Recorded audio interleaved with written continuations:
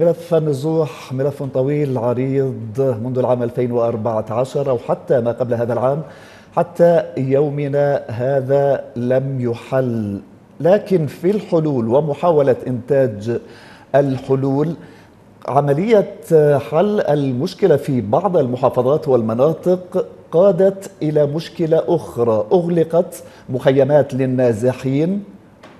وأنتجت عشوائيات جديدة لمخيمات للنازحين أنفسهم. ماذا تقرأ في هذا الحل أولا؟ نعم مساء الخير عليكم وعلى مشاهدين قناتكم الكريمة.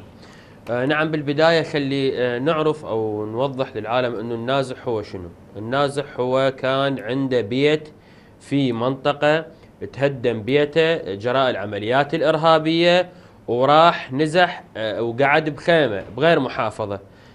الحل جدا بسيط الحل جدا بسيط. أنطيه تعويض اسلمه بإيده أو أنطيه تعويض اسلمه بإيده أقول له روح ابني بيتك مو كانت عندك قطعة وبيت بفلان مكان ارجع روح ابنيه وارجع لمكانك. أو أنا كحكومة وكدولة أشوف بابا أنت وين كان مكانك؟ مكانك تهدم مكانك انضرب من قبل داعش مكانك انضرب من قبل بنيران صديقة من قبل الجيش العراقي المهم مكانك تهدم. تعال بابا خلي ابني لك البيت مالتك وأرجعك لبيتك. المبالغ الجاي تصرف عن نازحين لا تساوي واحد بالمية أو أقل من واحد بالمية لهذا الحل. أنت اليوم شنو مشكلتكم ويا النازح؟ مخلينا نازح ومهجر وقاعد بخيمة. يا وزيرة الهجرة تقبلين؟ أبوك الله يرحمه مات قبل كم يوم ونسأل الله أن يرحمه ويغفر له.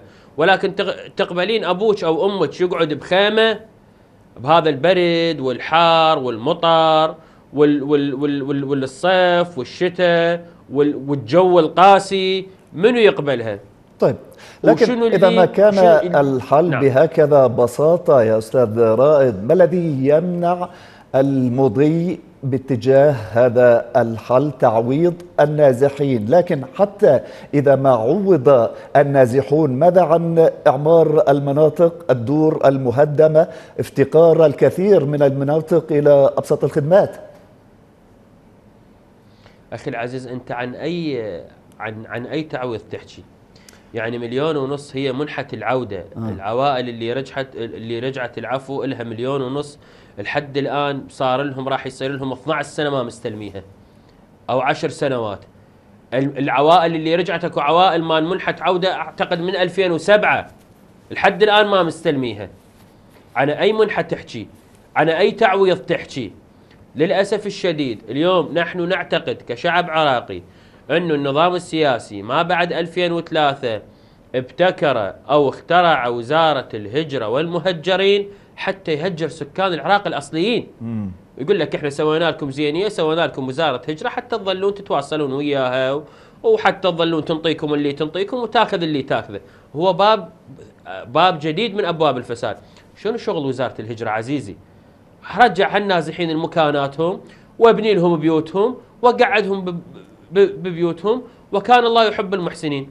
اليوم أنت إذا تشوف يعني آه، آه، أكو موضوع جدا جدا جدا خطير ويجب الوقوف عليه. إحنا نصحنا هواي حتى دولة رئيس الوزراء السيد السوداني اللي هو يا عزيز هسه من تروح الطب للمخيمات. المخيمات آه، مغلقة على أنفسها. تجي داعش قضى يم جهالهم ثلاث سنوات. فعلموهم إنه الشيعي كافر وإنه الصابئي كافر وإنه فلان كافر وقاموا يكفرون بالعالم. وتدري نظام داعش بربري يعني قعد بهاي المحافظات وقعد كذا سنة. هل قامت وزيرة الهجرة ب سوت دورات تثقيفية للتعايش المجتمعي؟ وتعالوا بابا ترى الشيعة والسنة والصابئ أخوان وإحنا عراق متعدد العراق بي مسيح وبي صابئ أو بي وبي وبي, وبي إلى آخره. مو هذا الطفل. إذا من هسه تعشعش بباله هذا الفكر الداعشي هذا بعد يومين راح يأذيني ويأذيك. يأذي أطفالي وأطفالك. الأمور